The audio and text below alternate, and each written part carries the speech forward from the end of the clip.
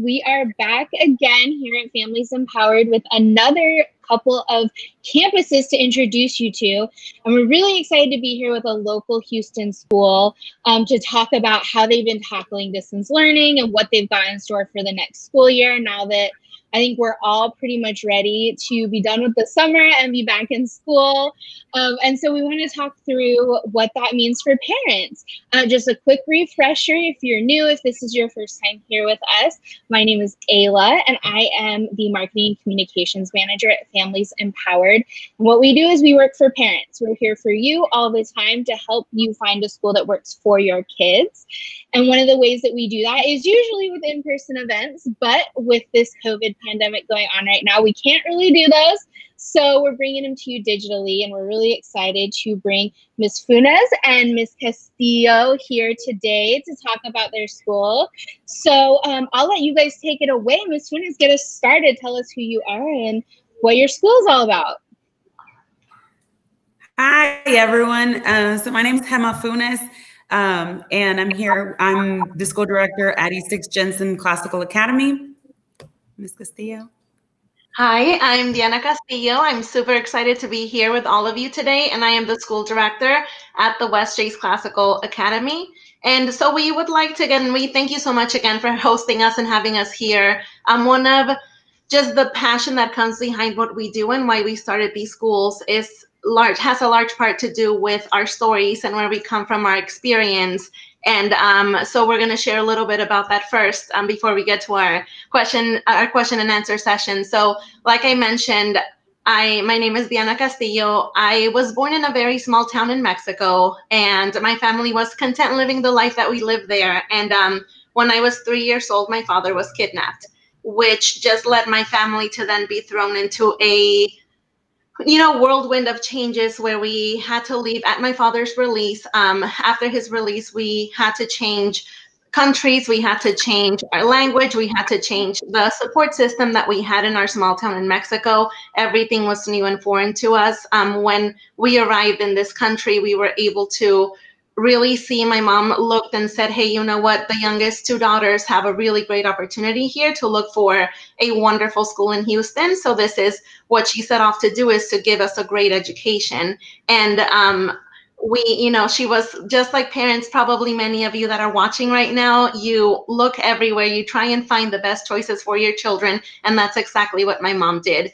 Being in a new a different country being in a place where you didn't have your so you don't have your support systems like we did back home. It was a very challenging time but luckily we were able to connect through wonderful educators and teachers to a um, charter school that was starting. It was the very first years um, and i remember the co-founder knocking on doors you know saying hey there's a promise of of college and we're going to get you guys to and through college and this is you know something that my mom heard and back in mexico this is not something unless you have the means you don't really dream as far as college or going to you know the university in mexico. So my mom it's the first time that she really heard and said my daughter can go to college and you know she got really interested and then enrolled me in KIPP Academy and I can say that I was super fortunate to be in the first set of classes back in the 90s um, of from this you know big charter school movement. So what happened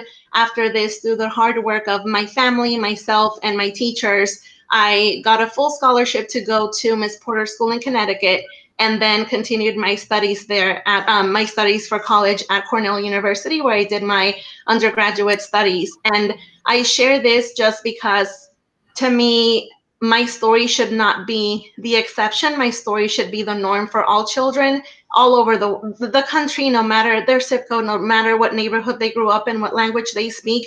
Every single child deserves the same opportunity to achieve and to really follow their dreams and make them come true. And this is why we decided to start these schools um, with the partnership of neighborhood schools, community development to really come together and think how can we bring this you know small scale family support where we really are here for families? And if they have questions that they know that we are here they can ask.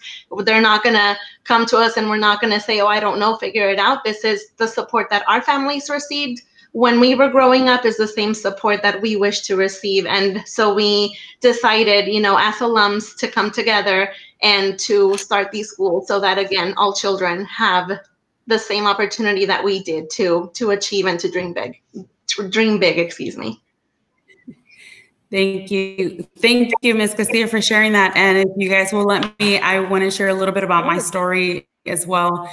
Um, so I actually um, clearly remember uh, in seventh grade was um, was a really uh, was a year of a lot of changes. So that particular summer, just like every summer, my family and I were going to head to Pecos, Texas, because that's where uh, we were agricultural workers, which was just like fancy for you know we picked crops and and we did everything that we had to to support our family. Um, but then that summer. Uh, just like for Ms. Castillo, the the founder of KIPP came to my house and he started saying words like career and future and college and just words that as a seventh grader, I should have heard, but had never heard before.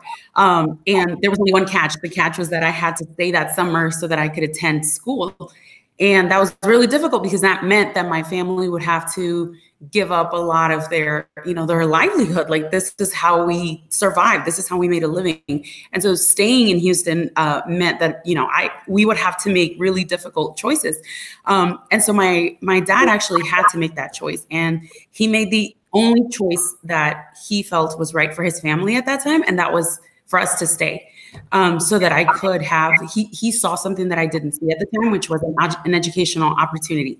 Uh, and that led me to my path to, you know, through high school, to, through college and through, um, through getting a master's and, and doing all the things that I had never dreamed of. And it was that, um, it was a crucial moment um, that, that led to that. It was that love that he showed for me for you know to make making those decisions that i constantly see in my community in our families. Those are the decisions that our families are making every single day by selecting you know the best fit for their students by making sure that they're finding opportunities and that's what we're providing. So um, every child deserves an equitable education and every child is worthy and deserves to be treated as such. And therefore um, we we decided to come together and create a place to build a place where that generation of students, Diana, uh, uh, Barbara, our other school director, and myself, are building uh, the place to tra transform our communities, and that's really what we want to accomplish um, with our schools. And and we invite everyone to you know ask questions, find out who we are, make sure that you know the place where you're going to send your child and the place where you're, you're going to trust the most precious you know thing in your life is is someone that absolutely cares not just for for their academics which is wonderful. That's obviously you know a top of our list um, but for their general general well-being. And as you're going to find out a little bit more about us we're focused on academics of course um, but we also want to uh, you know focus on the emotional development of students.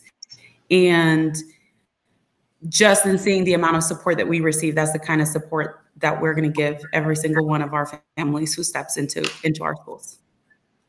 That's so wonderful. You're both so passionate. I love it. And it seems that you can both really connect with parents because you've been through this. Yeah, absolutely. Awesome. So let's jump right into it um, let's go ahead and talk about tell me a little bit about the school's mission um, right? Because you you know we we know what the school was built on but you know what's your mission? And also tell me about the grades that you have available for students. So our mission is to provide hope for scholars who will become change agents of the world through commitment creativity and courage. At west chase classical excuse me we currently have kindergarten and first grade. But next year, we're super, super excited to be opening up pre-K three, pre-K four, kinder, first, second, fifth, and sixth. So we're expanding our family and excited to welcome everyone. So at Eastex Jensen, we will our available grades will be uh, kindergarten, first, second, fifth, and sixth grade. So we're currently, uh, you know, if you, we're going to give you the the address in just a minute.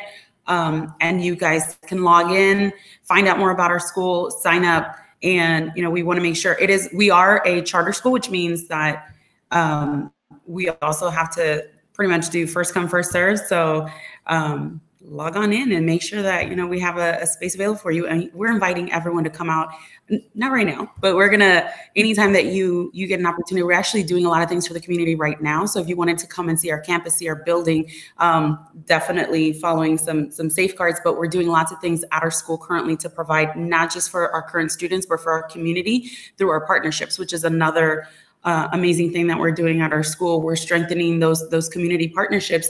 Um, so right now we're working with the Houston Food Bank, with uh, Victory Outreach, Eastex Jensen Super Neighborhoods, Northside. We're offering um, we're offering fresh fruits and vegetables to families, to the community, so that people do have a place that's not just a place where their children are going to get educated, but also where they're receiving other types of support, because that's we we want to also become a pillar in our communities. So just another resource like um, Ms. Funes mentioned, if you need any support on the north side of Houston, of course, you can reach out to her about where to pick up this food. And on the south side, southwest side, we partner with um, West Houston uh, WHAM, which is West Houston Assisted Ministries, um, which is just a short drive from school, and they're doing amazing things. And we're super fortunate to just have people who really have welcomed us, opened their doors to us. They support our families. Um, we had a family who recently lost their home due to a fire, and you know, WHAM was the first the first partner that I reached out to and they said, come on over. We're going to help with, you know, whatever we can and helped with some gift cards. And right now they're doing distribution. And I just want to mention that so our families know um, Monday, Wednesday, Friday, starting at 930 and they go um, until about one or 400 cars, whichever one comes first, but they have a lot of produce just like they do at Eastex um, during their distribution days. So we really do invite you all, even though you can't come and get a tour, that you all come or reach out to us if you need help with any any just food or items during this time. That's so wonderful. So let's go through the grades one more time because Ramona had a great question. She's curious to know is pre-K four is available at the East Eastex location. So at Eastex Jensen, at Eastex Jensen, we do have, we will be having a pre-K three and pre-K four um, and as at a at both of our campuses actually. So yes, you can start enrolling. This will be the first year. Um, and so if you want more information um, and you want to talk directly to us about kind of the process to, to sign up, because I, um, as Ramona probably knows, and a lot of uh, a lot of people, there are different um, opportunities. There's like half day, there's there's full day, and if you guys uh, want to know kind of how that's going to work at our school, uh, you can call 832-478-2398, and you can speak to any of us, um, to Ms. Ms. Salazar or myself. Actually, we'll we'll be answering your calls. Uh, but yes, if you go to eastexjensen uh, classical.com um, you are more than welcome to sign up for pre-K three and pre-K four, kindergarten, first grade, fifth, and sixth grade. Okay. Fantastic. So let's hop right into it. Tell me a little bit about um, the learning, because that's what we're all here to know about, is what it's going to look like for kiddos. Um, right now, we're distance learning what does a typical day of distance learning look like for your students? So, are you able to hear me? Awesome. Sorry, I got an alert about my microphone. Um, so what we're doing right now is we have a really awesome website that um, one of our teachers created for all of our scholars. Where at West Chase, where we go in and we have different pages in the morning for SEL, social emotional learning time. Our scholars get to go in and they um, they, read a, a, question for the day and they all share as a school their thoughts on that page. And then there's um, we're making sure that they have access to all of their blended learning materials. So iStation, ST Math, which were really great programs that we were using along with the learning in school, where we shrink the classroom and make sure that scholars are getting their more individualized smaller group attention with the teacher while some of the other scholars are on this blended learning. Um, so now they have their lessons that they're continuing to do. And one of the things that i'm just super proud of my staff and our teachers at both schools is that what they're focusing on as well is small group instruction. So although scholars are getting their lessons through these virtual ways our teachers are making sure that they're logging on and that they're meeting face to face, well, virtual face to face with um, our scholars in their small groups so that they can help them with their reading. They can help them in whatever um, ways. We also have uh, teachers who are doing literacy circles. So they will mail out chapter books for their students and they'll continue. You know, the homework assignment is to read chapter one, and then they sit down as a small group of three and they'll have a discussion just like we would have a, a book club. And so it's their book club time, and they're still getting all of these enriching activities, um, even through distance learning.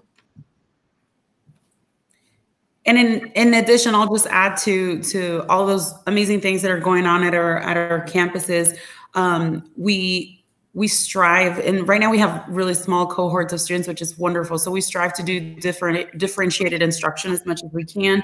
Um, our students who have special needs, we have our special ed teacher who is also um, you know, has, has scheduled specific time with our students. So all our students who are receiving um, services at school are continuing to receive them even now. Um, I mean, again, with uh, with just with what Ms. Castillo was saying, um, we're also making sure that our kids are receiving uh, chapter books, books on grade level, so that they can continue reading at home and they have they don't just have to be on a computer every day. But we did offer for um, Chromebooks for all of our students. All our students um, who had a need, were we were able to meet that need. In addition, if students didn't have, if families didn't have internet, we offered hotspots for them. Um, and so, you know, if whatever situations come up, our families know that they can that they can count on us, and that's the biggest thing right now with the with the distance, with distance learning. Yes, we want to make sure students are still um, receiving a great, great education. But more than that, we want to make sure that they're okay. We're checking in with them at least twice a week. About 90% of our students are logging on um, daily and, and having daily communication with our teachers um, because they want to. They they we actually, to be honest with you, we actually haven't even said that attendance is, is mandatory in any way, but our our kids log in because they want to see their teachers. They want to you know interact with um, with those adults who just care and love love them so much and interact with each other. And so that it's just been it's just been such a learning experience for us as well, and I'm, as I'm sure for most districts to do distance learning now. But and we've learned a lot, we've um, achieved a lot with them, and, and the biggest thing that I've that I've seen is that our students are engaged because that's the culture that we've built at our school.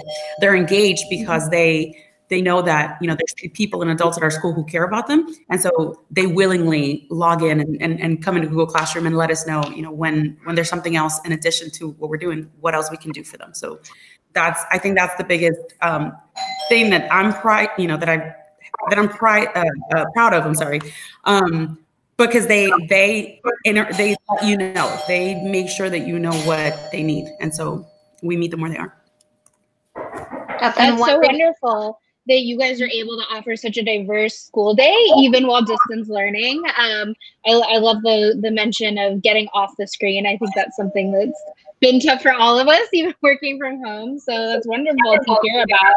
Um, you know, one of the questions that we've had, you know, speaking to your point of supporting parents, supporting families, um, one of the questions that we've had here at Families Empowered over our phone lines, um, because we have parents, we're talking to parents all day, every day on the phones, is um, how schools are supporting Spanish speaking parents um, who want to help with homework, um, but the work's in English.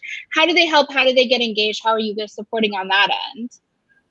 So I just being a Spanish speaker myself, I I do tell parents whenever we have conferences or we have meetings, one we do send all of our posts on Dojo. We try to be there is for well, let me let me backtrack. We post a lot of our things our communication is mainly done on Class Dojo and it does have an option for translating or translation, but being a Spanish speaker myself and knowing how much my parents struggled, um, just always not knowing what does it say exactly? Google Translate sometimes, although it's great technology, some words just don't make sense. And we want to make sure that we, there's not a, you know, just any, any that nothing is lost in translation. So what we do is that we make sure that when we post something in English, we also write it ourselves in Spanish so that it's clear to parents what we mean so that they're not having to guess or to click the translate button that it's something that's there for them because we don't want to make things more difficult and we want to make things as accessible as possible. So we also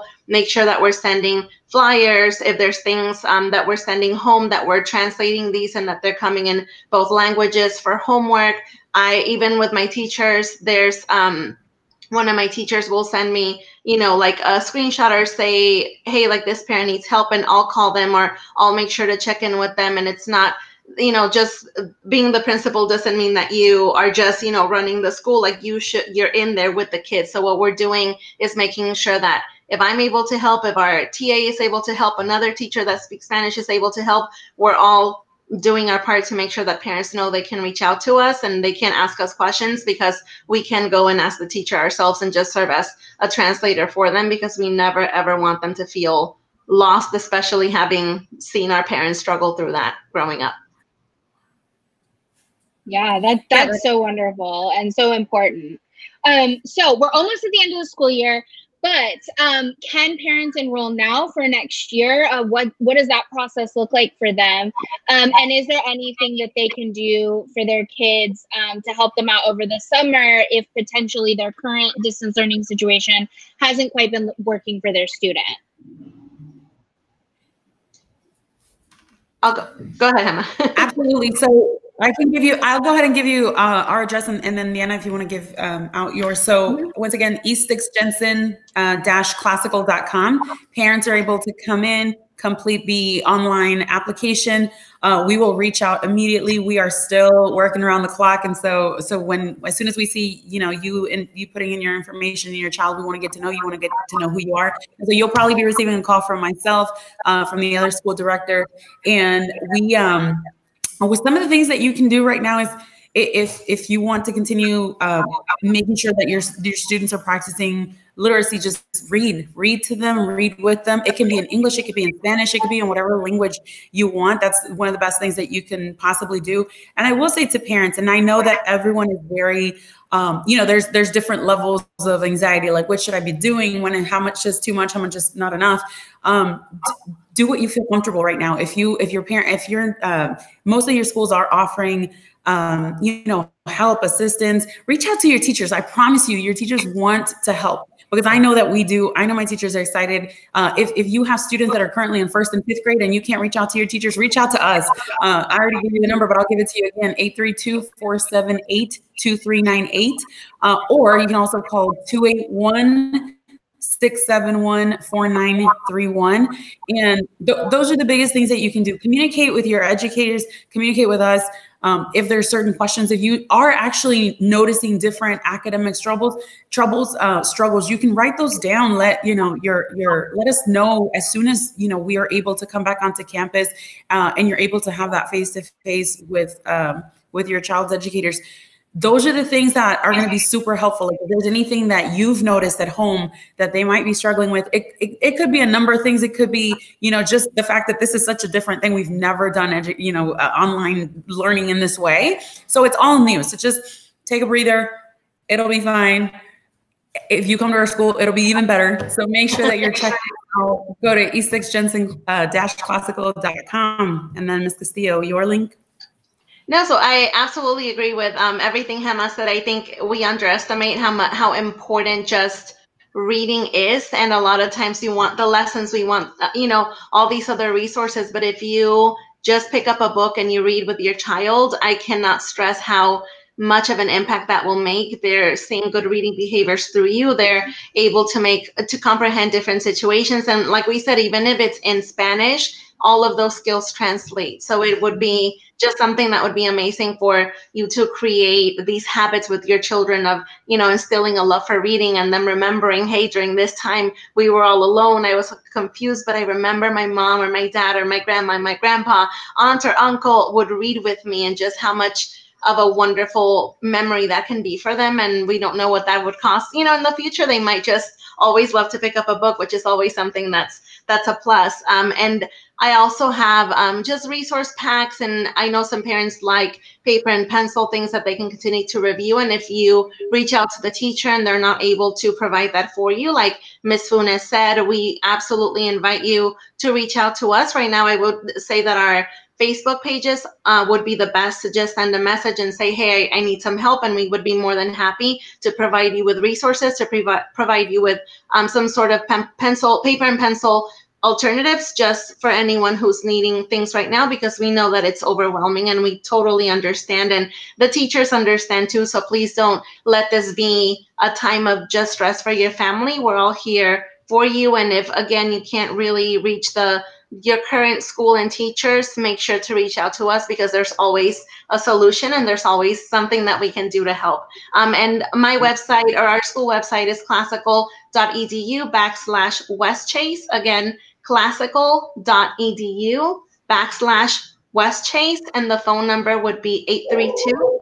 343 9574. 832 343 9574.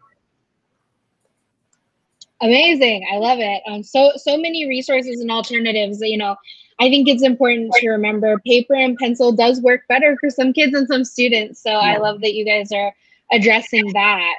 Um, so we went over the grade levels that you guys serve, but are all of those grade levels actually open for enrollment for next year? They are. We have right now pre-K three is the only one that we're waiting on at West Chase, but we do have an application that's live for pre-K and pre-K four for those uh, parents who might be wondering what does that mean. It's just pre-K for four year olds. Um, it's pre-K for four year olds, kindergarten, first, second. Um, are open as well as fifth and sixth. So you can submit your applications by going to classical.edu backslash West Westchase and the same for the website that Ms. Funes shared for her enrollment. Are those grade levels the same for the Eastex Jensen campus, Ms. Funes?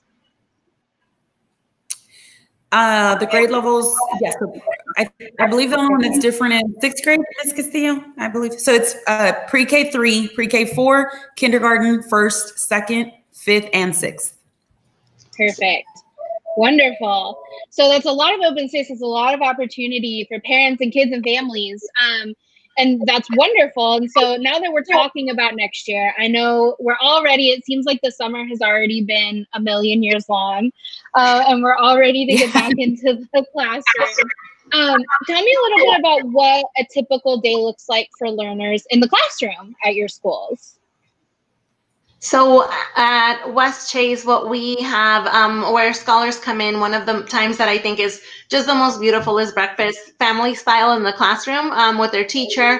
And so scholars get to do some morning assignments or just, you know, feelings journals or whatever activity the teacher has for them where she's able to check in go over homework and then have small conferences with scholars depending on what you know like hey i noticed this you know this assignment wasn't complete let's talk about it because we do want to make sure that we're instilling just like a strong work ethic or just responsibility in our kids so that they're understanding from a very young age. You know if you have something like my dad always shared in my teachers that i shared growing up that if you do something you do it well. And that's just some of the character values that we want to make sure our scholars have is from a very young age that they're learning that this represents you and we're going to always put our best you know self forward. So they start with that time with their teacher then they go into a um, morning meeting where they're able to check in and their feelings and just have just activities where they get to learn a little bit more about each other. They go over calendar and then go into guided reading where we have scholars who are learning from the teacher. Every single child sees the teacher every single day. It's not based on ability, it's based on just the fact that everyone woke up them, that morning and got dressed for a great education. And it's not fair. We're only focusing on the ones who might need a little bit, bit, bit more help or the ones who might not need a little more help. We just want to make sure that every single child gets to see the teacher so that they're getting a more individualized approach to their education and we're not just sitting and teaching whole group all day that we're targeting kids where we need them to be because even if you have a first grader reading at a third grade level guess what? They can be challenged more and they can be pushed and they deserve to be pushed and challenged. Um, so that's what our focus is. They also have science social studies math class. Um, we do have two recess blocks because they are five and six year, year olds right now and i think a lot of the times there's so much pressure in school just to you know get those good grades and super academics are super super important but we also need to remember that they are children that they are only five and they're only six and that we need to give them those breaks that we also as we're seeing now that we're you know a lot of us are at home and just in front of screens and computers and meetings that we do need to take small breaks every now and then. So we do have two smaller recess blocks just so that they can you know be kids and come back and be ready to to have their focus you know really on during lessons. And we also have um, a social emotional learning block at the end of the day. And I'll I'll give it to Ms. Funes now so she can share a little bit more about that. So absolutely, our day is is pretty similar. So at the beginning of the day, you know, we start with breakfast, and we uh, all campus wide we do what we call DEAR, which is drop everything and read. So for the first few minutes, you know, students are are enjoying uh, books of their choice. Um, they're not. Um, it, this is across the board and this just gives us an opportunity to check in with students as well if we need to from you know anything that was pending whether it's you know any students came in um, maybe not feeling that well that day, or you know, all the different things that we sometimes don't give time to. Like that is our time to check in with students to make sure that they're doing okay, that they're starting their day off on the right foot. That if they need a pencil, we're giving them a pencil. We make sure that those things are getting taken care of, so that once we start class, we're ready to go. Um, in addition to so what, what Ms. Castillo was saying, we we follow that very same model. So uh, we'll start with calendar math. We start uh, our there's a lot of um, so we do follow like a, blend, a blended learning model our school. Uh, we do a lot of centers. We make sure that students are um, receiving. So you know, at the beginning of the year, we're going to be gauging kind of where everybody is. And, and because we want to differentiate and make sure that we're providing instruction that's on level, uh, we do have different programs that that um, help us, you know, meet those different needs, uh, depending what those are. Whether it's a child, you know, during math time, if, if that's a child, if that's a time for a child to be receiving services, that's when we have either push-in services or pull-out services. So uh, I, I, know there's uh, there's some questions sometimes about whether charter schools are providing um, SPED services or 504 services, and we absolutely do all of that. We we make sure that um, any services our students need, in addition to just academic assistance, like they they are receiving, and that we have people who are certified, who are qualified, uh, who who make sure that they're on top of, of that as well. Uh, at the end of the day, we absolutely. Um, we absolutely we finished with with what's called PATHS uh, it's a, a, social emotional learning um, curriculum. So we we don't just we don't want to just talk about you know how this is important. We want to make sure that we're following through and, and giving students really the opportunity to, to um, learn and practice how to you know how to uh, make sure they're managing their feelings. They're speaking about their feelings. They're um, you, you know we know behavior is is communication. And so we're teaching them how to communicate better, not just about, about academics, but about any other things that might be going on with them. So uh, for our fifth graders, for our fifth grade scholars, we also have an intervention block built in uh, throughout the day so that they um, are able to receive that intervention. Uh, we do have a partner at the end uh, with with our school um, Oh, I think Mrs. Funes unfortunately is breaking up a little bit. Um, I'm not sure if she can so, hear us. Uh, um, Miss Castillo, do you want to take over um, a little bit while we're waiting for her internet to catch back up with us? Yes.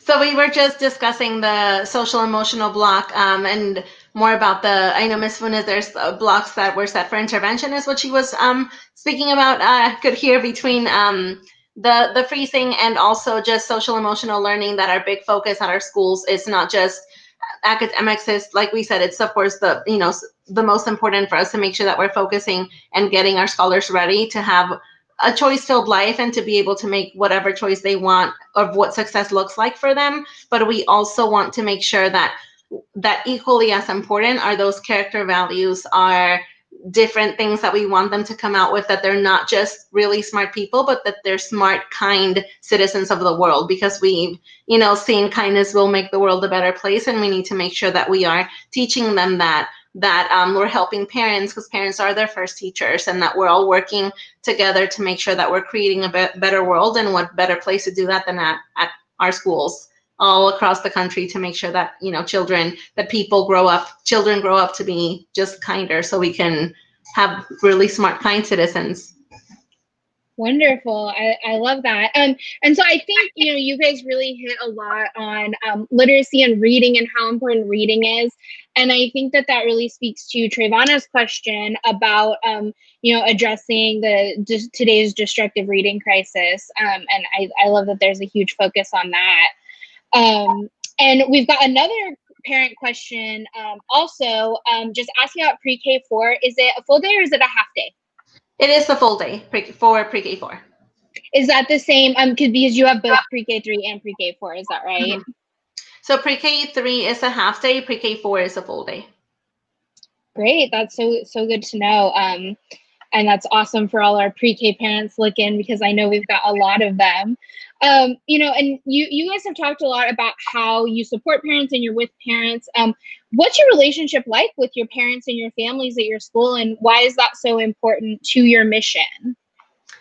Our parents are just everything to us. Our parents are we we definitely have a very close relationship with our parents. We love every day.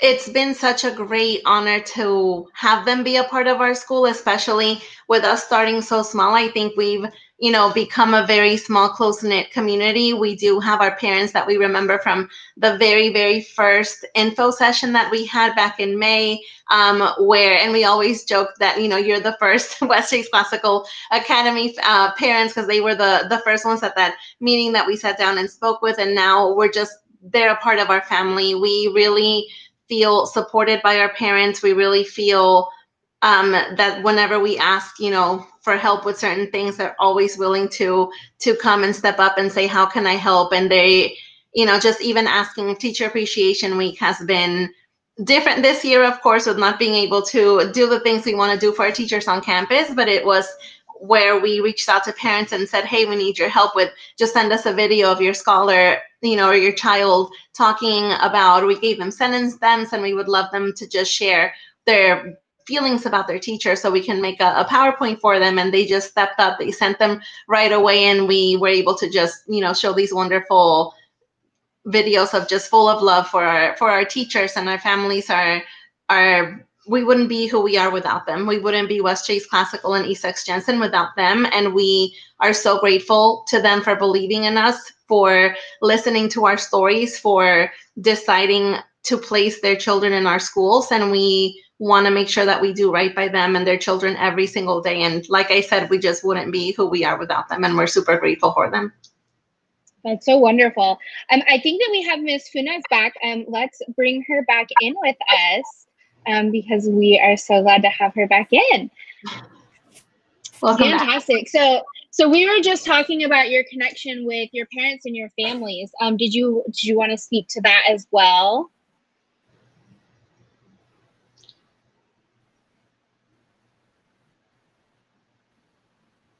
Oh, oh, we lost her audio. um, that's okay. Hopefully, she can join us in the chat.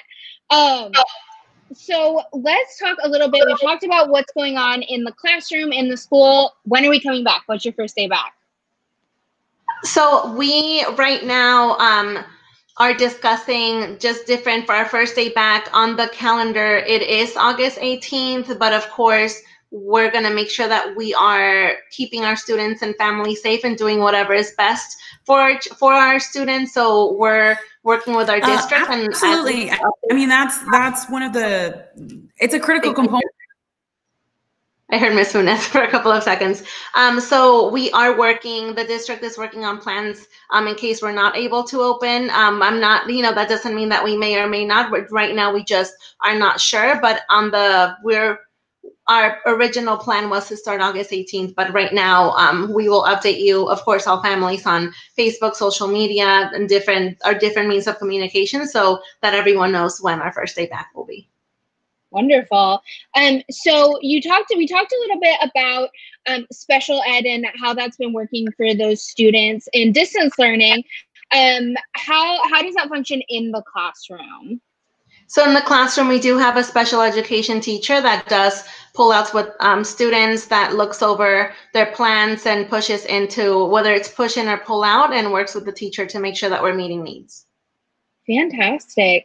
Um, so we've talked about your community we've talked about this school. Um, tell me a little bit more about um, how you guys are supporting just for anybody who missed at the very beginning um, because we talked about it right at the beginning but i know we've had some new viewers jump in. Um, how you're supporting the community throughout the pandemic. I know you're doing food distribution and other things. Um, let's just revisit that quickly um, before you know that for anybody who missed it yeah, so we've been, we were mentioning earlier that we just feel really grateful to have different partners, different community partners, and that's been through working with neighborhood schools community development. The goal has been to make sure that we access all those resources that sometimes we don't know are there. Um, as schools, we may function, you know, it's just our school and we we try and help like we as we can but houston has a lot of resources a lot of really great people who want to help and this is where we are super super fortunate to have neighborhood schools because they are our connector. They work um, exclusively with our two schools and they really help to plug um, you know different things that we need for for families. So who they've connected us with is um, through the neighborhood schools, they actually purchased or, or secured a grant for us to be able to provide laptops for our scholars, all of them who needed them at both schools, Eastex and Westchase, they we were able to give them a laptop to use for distance learning, and um, and that's all thanks to them. We've been doing supply uh, distribution where we made sure, and it's not what was in the classroom. It was you know brand new sets, which is always who doesn't get excited over new new school supplies. So we got um, brand new scissors and you know glue sticks and crayons, construction paper packs, because one our as an enrichment we offer art and how can we ask our little ones to follow along with the art teacher if they don't have construction paper? So it's making sure that we're being really you know just thinking really far into what our scholars would need and are we fulfilling these needs? And it's it could to someone listening they might say but it's just construction paper but it, it's construction paper and they need it and we need to think about all these things ahead of time uh, just so that our scholars can have what they need in order to you know just participate with us. A simple drawing with the teacher can mean a lot during these times when it's something fun that'll take your mind off of what's going on. So um, we gave them books. We were able to provide books. The Houston Food Bank is still working with us, and we're doing the backpack buddies where we're able to send those bags home. The Barbara Bush Houston Literacy Foundation also just donated a lot of books that we were able to do a second because we know they're drawing and they're having fun at home. So we went ahead and um, wanted to refill their supply bins that we uh, made for them in March. So we went ahead and you know got more glue sticks those we know as educators those run out really fast. So we got more glue sticks more crayons more construction paper and um, we included some activity books. We also included those books from the barbara bush houston literacy foundation. And um, you know just we're making sure that we're connecting Miss Funes at Eastex. I'm not sure if your audio is back, but they're working with the Houston Food Bank as well and many different community partners to provide food for families on campus. And for us, we're partnering with WHAM, which is West Houston Assistance Ministries, where we have our uh, partner there, um, Lisa, who has just been amazing in helping our families. And they're doing distribution Monday, Wednesday, and Friday. They start at 9:30. The line does get very long, but it goes by really quickly. They have the National Guard helping to pass items out, so it's you know it's going by really really fast, and you don't need an ID. You just give them your name and how many people are in your household and they just fill your car with amazing produce vegetables you know meat there's dairy there's been eggs so like a really great opportunity for families to feed um, everyone in their home. And that's again monday wednesday friday beginning at 9 30 in the morning. And you can google west houston assistance ministries and their address should come up. It's on meadow glen Awesome. So before we wrap up um, and let everyone get back to their evenings, um, let's talk about enrollment registration one more time to just give parents who are interested um, that info one last time. Tell me how we enroll. So for um, Westchase, you go to classical.edu backslash Westchase, and there will be an apply button there. You can apply in English. There's also a Spanish application. If you need help with any of the steps in the process, you can call 832 343 9574. 832 343 9574. And for, I'm going to scroll up on our chat here um, to make sure that I give Miss, I don't know if you want to try and see if your audio works, Miss Funes. No. Okay. So for Miss Funes, it's Eastex Jensen, E A S T E X J E N S E N dash classical dot edu to apply. And then the phone number is 832 478 2398. 832 478 2398, or she can also be reached at 281 671 4931. Again, 281 671 4931. Fantastic. Thank you so much for both being here with us tonight. Um, and just a reminder for any parents that are watching, Families Empowered is also here to help you every step of the way um, while you search for schools if you're still looking for the right school for your kid um, we're here. We're here to help you. And um, you know, just like our neighborhood school school partners here, um, we've also launched some COVID resources. Um, we have a COVID resource page on our website, and you can find that at familiesempowered.org. And um, we've got some city specific resources, um, everything from computers to food locations, um, everything in between. Uh, if you've got any questions about any of those resources, or if you just need a little bit of help walking through your school search, um, we're also available on the phone all the time, um, every day of the week. So feel free to give us a call at 713 589 8767. Um, so that's about all that we have tonight. Thank you, ladies, so much for being here, and we will talk to everyone soon. Thank you. Thank you for having us.